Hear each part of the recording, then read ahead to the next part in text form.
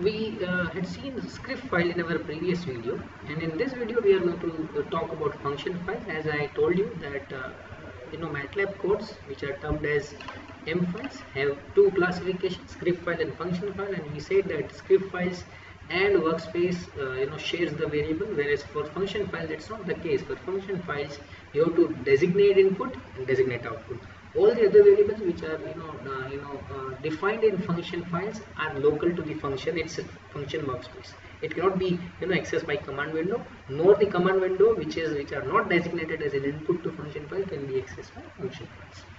Okay. So as I as I already mentioned function communicates with the MATLAB workspace only through variable passed to it and through the output variable it creates. So that's what I just now uh, said. Yeah you have to create the editor window and it again has the same extension dot so this is the uh, you know syntax. Function output variables in square bracket equals to function name and input variable into uh, you know parenthesis. And then you you you may or you may not put uh, you know this semicolon. Now if there is only one variable uh, as far as output is concerned you don't need to write it in a square bracket. You can just write this function d equal to function underscore. This is the name of the function and this is the input variable. However even if there is a single input variable you have to put them in the parenthesis. So you cannot write function underscore mpm you have to put them in the uh, you know parenthesis. Uh, then let us see some of the things which we should know about uh, you know saving function so when you save the function, function name and the name with which we store it should be identical. That means, you know, default in fact MATLAB uh, will give you that option only. But you know, uh, every individual uh, you know has uh, uh, you know his or her way of writing the names of code, but you cannot do it here. Like if if you want to do that, uh, you know, you have to write that name here like when I write function underscore mp1 you have to store this file with the name function underscore mp1 you cannot store this file with your own roll number with your role name your some other code. Uh, you know when you try to save this file I'll be I'll be showing you in the MATLAB. When you you, you try to show uh, you know save this file it will automatically you know MATLAB will default give you this name. You can modify that but the moment you modify it MATLAB will not have access to it just like this. So I'll, I'll explain that. So function name that is this and the name with which you save this file should be identical. So this file needs to be this function needs to be uh, stored with the name function underscore mp1 then uh, uh, only then MATLAB will access to this particular file under this name. Uh, as I already told you function workspace and local variables so they are different. Uh, you can have multiple input and output. And and one important thing is when when you try to you know uh, give some kind of you know naming this variable is an output variable. So, so uh, please don't give the name of the file same as the output variable. Like no suppose you are calculating vapor pressure. What happens is your variable also is pset and your function name is also pset so in that case matlab will not be able to differentiate between the function and variable. So it will run once but from second time onwards it will be the variable pset will be which will be executed and not the file. So it is advisable that your function name should be unique and your variable name should be completely different from your function names so let us see this mp4 file in MATLAB command window.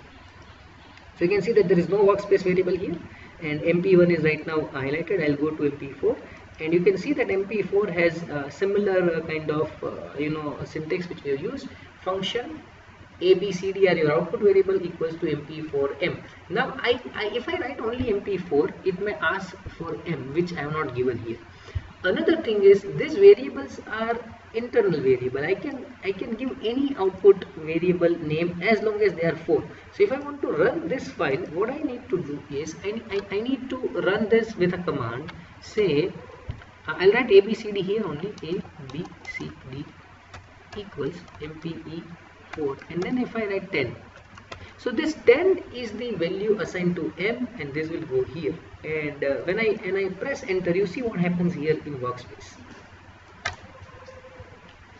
so what, what has come out in workspace is ABCD. Why ABCD has come out? Because I have designated them as an output variable. Right? But there is no uh, mention of M here. If I write M, it will say unknown variable. Even though M is defined, it's unknown variable. Another thing is I can run the same file with writing x equals to 10. I'll, I'll, I'll just uh, clear it. Put CLC. Say x equals to 10 and then I say P Q R S equals mpe4 into x and I press enter and I get PQRS. I don't get ABCD. So if I write A here, it will say unknown variable. But if I write P, it is 2. So uh, see, this variables are dummy variables. Whatever command window variables I am writing, they will be the actual variable in the command window. So this, you know, uh, it computes A, A value stored here and it is transferred here as P.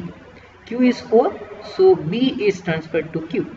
R is computed A plus B and C value is you know uh, conveyed to R likewise so there is there is there is no need that you uh, give the you know same uh, you can you give the same uh, name of variable so this is how you can you know run a function file. So I think when you write a function file you have to uh, write this. However in the new version of MATLAB when you write function file it automatically comes with this syntax. So you don't need to worry about like function output argument 1 output argument 2 equal to whatever name you want to say and this. Now let's let's try to do this.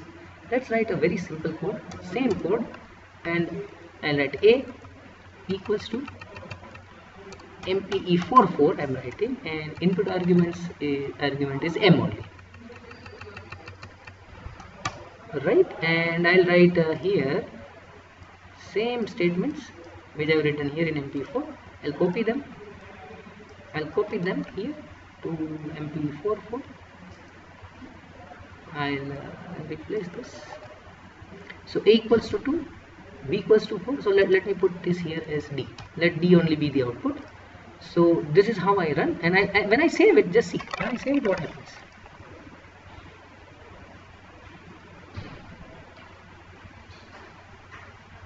It, it, it gives me default mp4 for as an option. I can change it but i should not change it because otherwise what will happen? I, matlab will not be able to access. I'll save it. I'll clear this. I'll put clc and then i'll write uh, let's say y equal to 4 and then since only one output is there uh, my calling syntax also will have only one output. And that is let's say hmm, z equals mpe 44 into y. And just see that what are the variables which appears here. Only z appears because z is designated as an output. No b no c. So when i when i call a function file what i need to learn is that only variables which are designated as output and input are shared with the workspace in fact you know if you write m here m is local to this. A is local to this. C is local to this. And in the same way if I write here Y you know without passing it on if I write here any variable which is not passed on to the function file function file will not be able to access this so uh, you know function has its own workspace. It is separated from uh, you know uh, command window workspace. Uh, it requires a designated input. Script file doesn't need that uh, designated input. So i hope you'll be able to you know clear the difference between function file and script file. And i think this should help you to write function file in a proper way. Thank you